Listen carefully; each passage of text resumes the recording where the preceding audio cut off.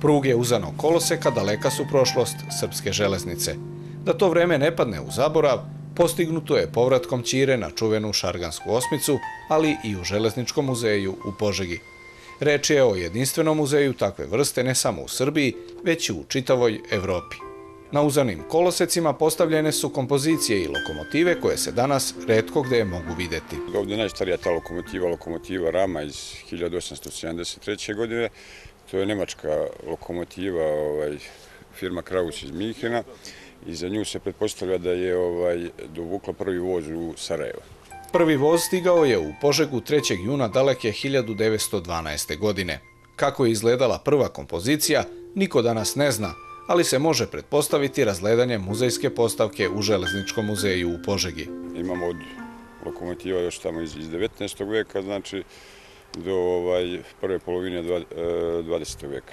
Imamo salon kola Franca Josefa I, koji je se slavonskim prugama. To je ono što bilo kao plavi voz, to je Tito imao, na primjer, kod nas u... Ovaj... Nekada su ove lokomotive jurile razvijajući čak 35 km po času, pa je putovanje vozom za Beograd trajalo nekoliko časova. U kakvoj je situaciji većina pružne mreže u Srbiji, ovom brzinom kreću se i savremene lokomotive. Među eksponatima iz perioda drugog svjetskog rata je i blindirana lokomotiva koja je saobraćala na privremeno oslobođenom delu teritorije Užičke republike. Kroz maleni otvor mašinovođe su kontrolisale kuda ide njihov voz.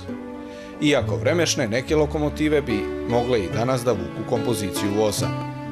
Ja mislim, lokomotiva Rama, ona je remontovana 89. godine u Banovićima. Ja mislim da ona jedina mogla bi da se ovaj, sada da se znači, upotrebljava. Neki najintenzivniji ovaj, te posete su negdje u, maju mesecu i septembru, kad su te džačke ekskurzije i ovaj, tad je najviše ako postoji. Imamo dosta i stranaca, to je kombinovano sa Mokrom gorom, znači sa Šarganskom ospicom.